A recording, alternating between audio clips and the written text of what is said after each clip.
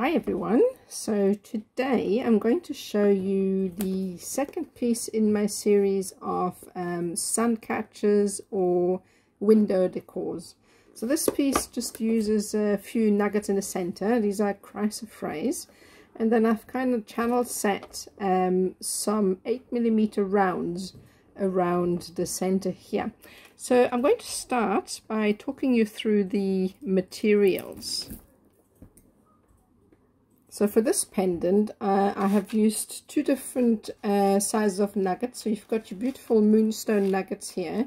Uh, then I've got obviously the chrysoprase, which I've used for the center. And I have used um, some 8 millimeter or 6 millimeter, I think they're 8 actually, 8 millimeter amethyst rounds for the, um, for the channel setting.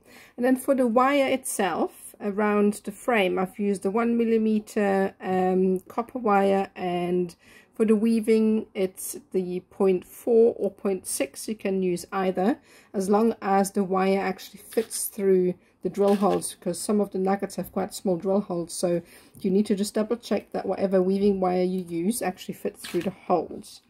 Okay so let's talk about the tools that we're going to be needing for for this um, design Right, very simple. Um, you obviously need your cutters and I would recommend some uh, more heavy duty because you're cutting some one millimeter wire. So your finer cutters with the, uh, the finer blades will actually get ruined if you use those. So I tend to use my um, my heavy duty ones. Uh, then I've got normal chain nose pliers just to um, help you grab the wires um, as you're winding them around the frame. Obviously your nose pliers are for creating the twirls and um, the top rosary link for the attachment and then I quite like to use my bent nose pliers because they're quite handy to get into areas that are hard to reach so these are quite useful to have as well.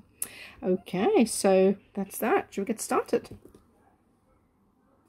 Okay, so I'm going to bring the piece back in. So what we need to create first is obviously the frame.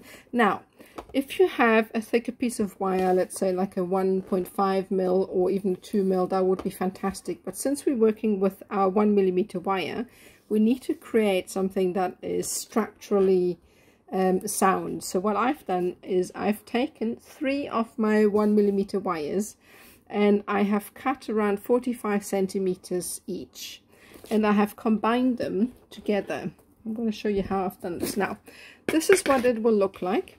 Alright, so these are three of the wires twisted together. Now, there are several options to do this. You can either twist it by hand, um, and the way I would twist it by hand is I would create a loop at the end and maybe attach it um, on a door frame or you know, something that you can wind the wire around. And then the other end, I would twist around, let's say a pencil or a paintbrush or anything that's got some, some length to it so we can do the twisting.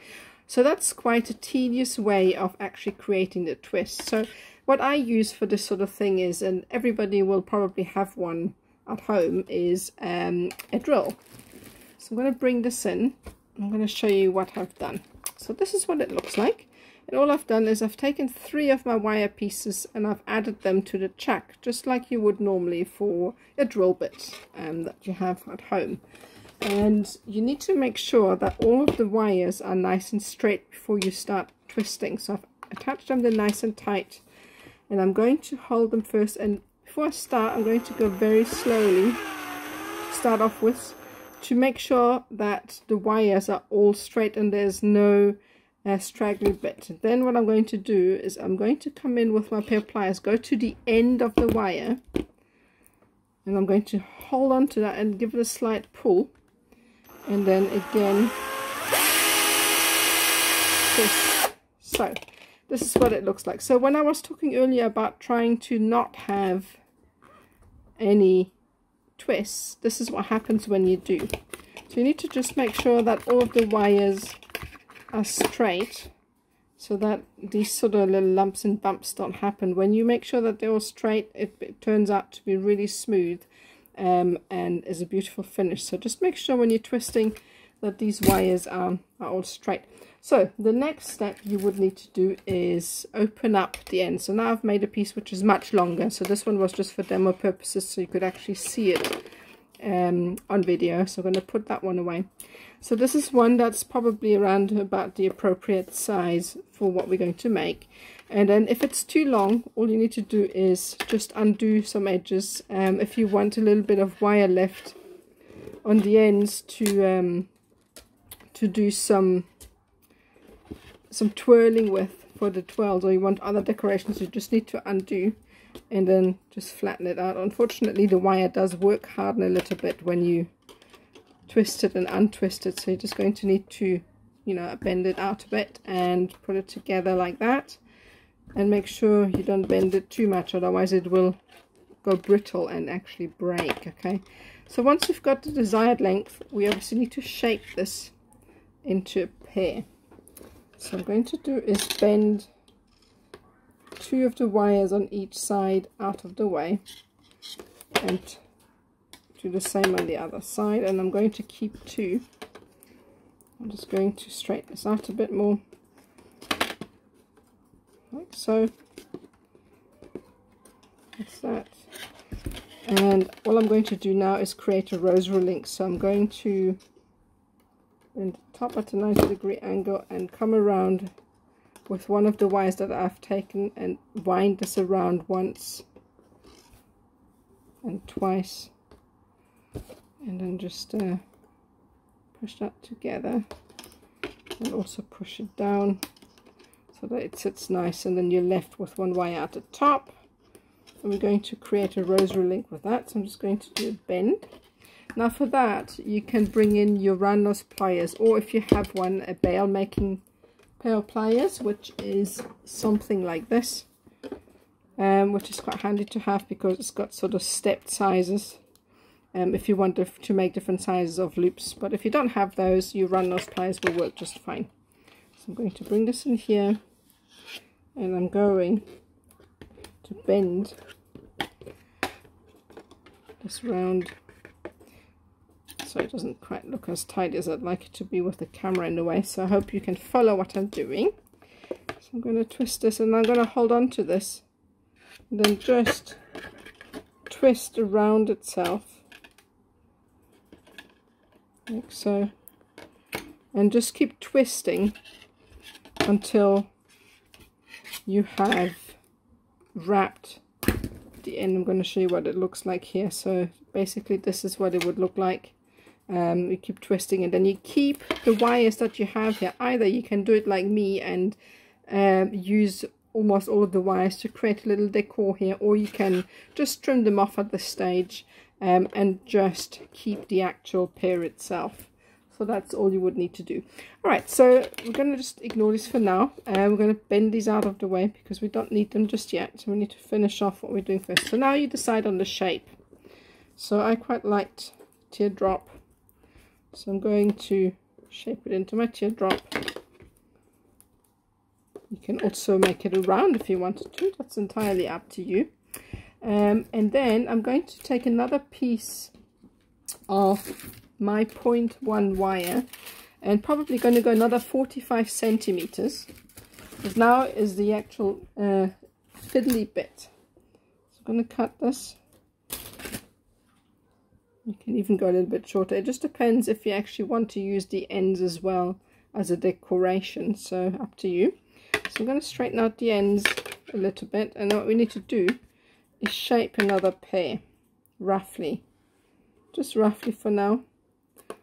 The same size different size for the inside just so that it actually fits on the inside so this is going to be the, the kind of center for the piece that we are going to make okay? So now the next step once you have pre-shaped this we are going to take some of our amethyst all right i'm going to pick this up first and i am going to attach these with a wire. So i'm going to put this aside for now and i'm going to gauge where the center of my pear is at the bottom so it actually lines up with the the top. So i'm going to attach it to do that.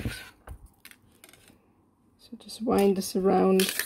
You just need a small piece of your either 0.4 or your 0.6, whatever you have handy, and wind it around roughly about three, three times. Like so.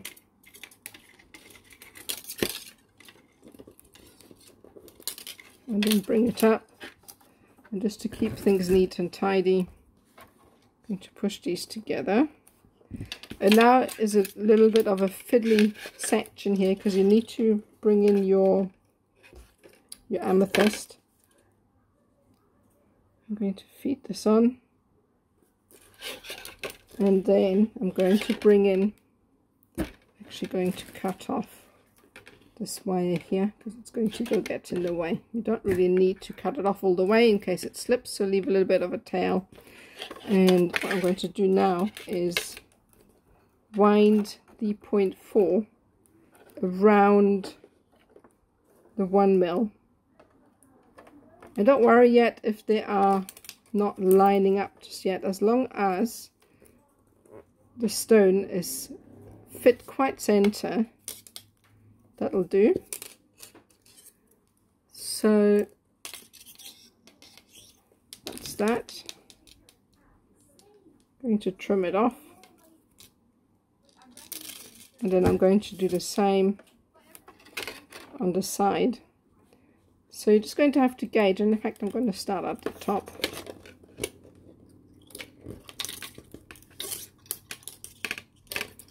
To keep winding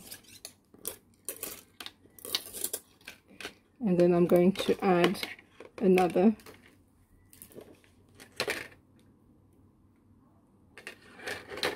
So you can see how this can be a little bit fiddly. So you're just going to keep winding.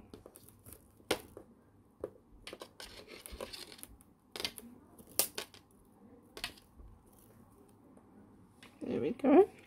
And then basically would just continue until you have enough of the beads attached. So you can see that it's still quite loose. You would obviously need to add in more. So I've got a piece here that I have already done. Um, you can see here I've added in all of the amethysts that I want and you kind of line them up on each side so that they match on either side. You can still see it's still a little bit loose but um, that's not a problem because once you have finished tying the top it'll actually be quite tight. So the next step would be to actually twist the top. So the next step is to actually secure the top. So you're going to pull this slightly and you're going to have to make sure that where they cross over are actually the same lengths on either side so they don't so it doesn't actually look wonky. And I'm going to bend these up a little and I'm going to twist these together. I'm actually going to use my tool rather than my hands and then lift them actually not twist there we go so just going to have to make sure that these actually line up. Twist.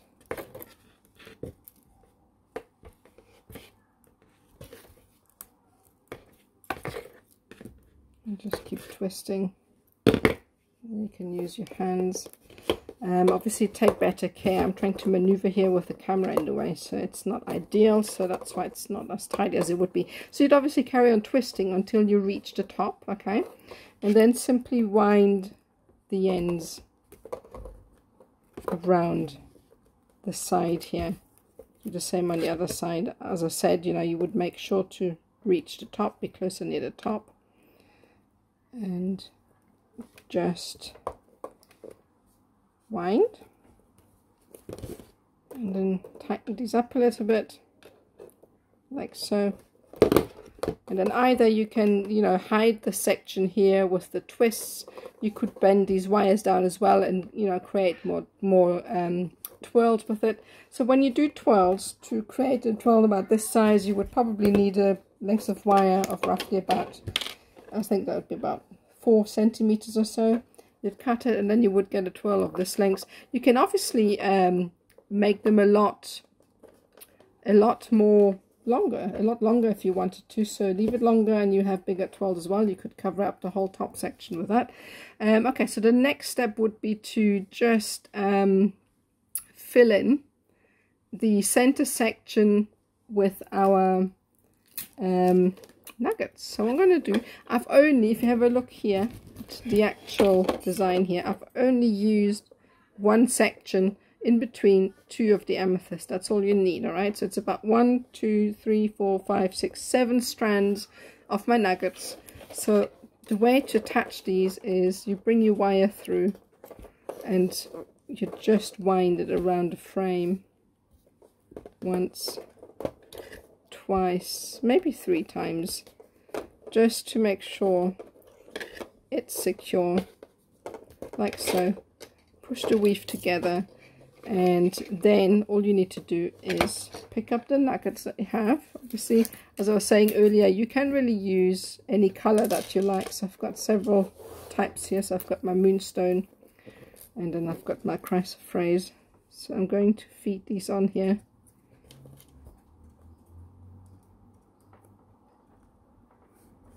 Can't really see the holes sometimes the trouble with nuggets um, they're so well drilled, you can't actually see what you're doing.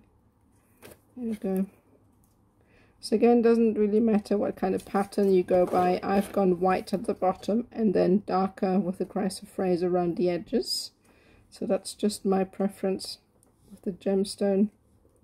So anyway, you get the idea. So you would feed them on. So this is a bit of a fiddly process to get the wires on. And then all you would do is obviously wind these wires to kind of gauge where they have to sit.